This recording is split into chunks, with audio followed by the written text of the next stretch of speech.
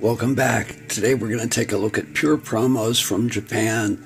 What I mean by that, uh, these are single promos that aren't necessarily promoting guitars, uh, but uh, they may be promoting something like Graffiti Bunny Records. At least that's what it says.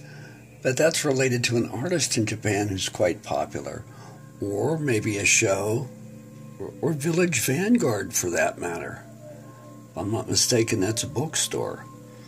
When we go to these three with a nice silver print, they look to be the same. But when you turn them over on the back, you can see that each one is not. Even though the variation is minor, you have these two vertical structures on each. This one is highlighted in blue, red, gold with different print at the bottom. I think little features like that are cool, and this is related to that as well.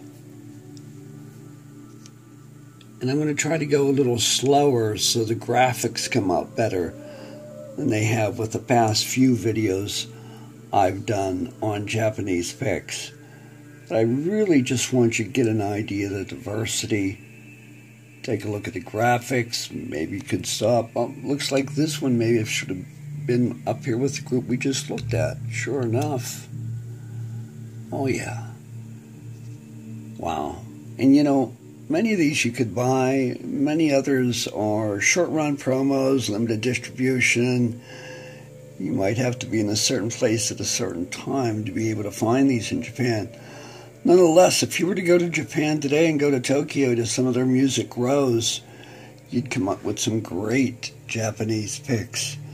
So if you've seen these and you're going to Japan and you want to collect picks, make sure you make it to places like uh, Big Boss, Guitar Planet, and some of their other uh, huge guitar stores that sell so many picks.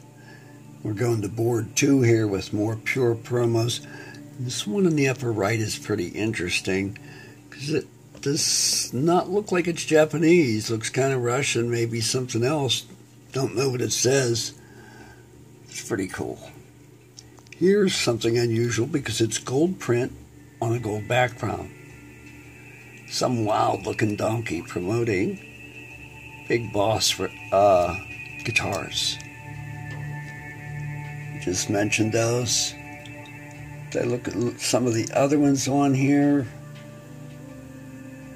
This is the Japanese Football Association right here.